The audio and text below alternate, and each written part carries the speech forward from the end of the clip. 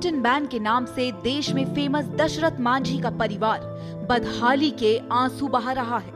पत्नी के प्यार में पहाड़ का सीना चीरने वाले दशरथ मांझी के नाम पर भले ही अस्पताल और पक्की सड़क बनाई गई, लेकिन उनका परिवार आज भी आर्थिक तंगी का दंश झेल रहा है। दशरथ मांझी का एक झोपड़ी जैसा घर है और परिवार बेहद गरीब। मांझी की बदौलत बिहार के गहलौर गाँव में काफ़ी कुछ बदला। लेकिन नहीं बदली तो उनके परिवार की आर्थिक स्थिति। दशरथ मांझी का परिवार आज भी जैसे तैसे गुजर बसर कर रहा है। पहले मजदूरी करते तैसे आज मजदूरी करते हैं। नहीं कुछ बदलाव नहीं बदलाव आता तभी फूसे के घर रहता। दशरथ मांझी का प्रेम दुनिया के लिए मिसाल है। अपनी पत्नी की मौत की वजह बने पहाड़ को दशरथ मांझी लगातार 22 साल तक काटते रहे। वहीं लोगों ने दशरथ मांझी के इस जुनून को देखकर उन्हें पागल भी कहना शुरू कर दिया था। साल 1960 से साल 1982 तक, बिना किसी आधुनिक मशीन के दशरथ मांझी पहाड़ काटने में जुटे रहे और सिर्फ़ छेनी हथौड़े की मदद से पहाड़ का सीना चीर दिया।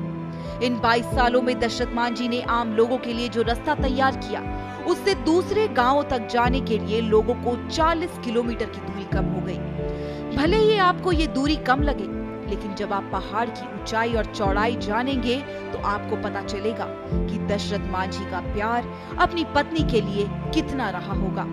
माउंटेन मैन के नाम से जाने वाले दशरथ मांझी ने 25 फीट ऊँचे 30 फीट चौड़े और 360 मीटर लंबे पहाड़ को तोड़कर दुनिया को मोहब्बत की निशानी पेश की। हमारे पिताजी बहुत गरीब था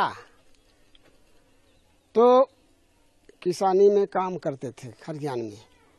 तो काम से छुट्टी हुआ। तो हमारे पिताजी ऊपर जंगल थे, वहाँ जंगल चला गया।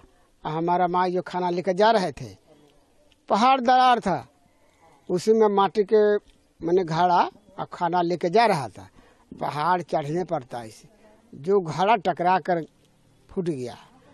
हमारे पिताजी आ करके देखा क्या हुआ। तो पहाड़िया में टकरा करके फूट गया घड़ा। तो खाना तो गिर गया पानी तो उन लोगों जे बैठा रह गया। फिर हमारे पिताजी पूछ मात करके, वो सोचा कि हमारा पत्नी के एक घड़ा फूटा संसार के कितना फूटेगा। इस वजह से तीन बकरी बेच के उजरगंज बाज़ार से चेनी हथौड़ी ला करके काम करने लगा। तो सब आदमी गहलोर के, अब चाहे उसका परिवार कह दिया ये तो पागल हो गया है। कहीं एक आदमी से रास्ता बनेगा, आहरा नहीं ना है कि मट्टी बिक देगा। ये पत्थर है। तो परन ठान लिया कि जितना दिन में ये रास्ता को हम बनाएँगे। तो बाईस साल लगा। बाईस साल में बन गया रास्ता तो आने जाने के।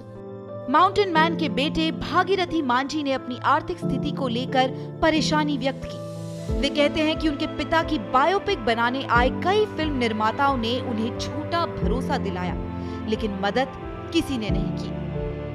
आमिर खान आया बहुत आदमी जुटा। खूब विचित्र कपड़ा के घर कागज़ के घर बनाया। उसमें छह आदमी हम लोग कुर्सी पर बैठा।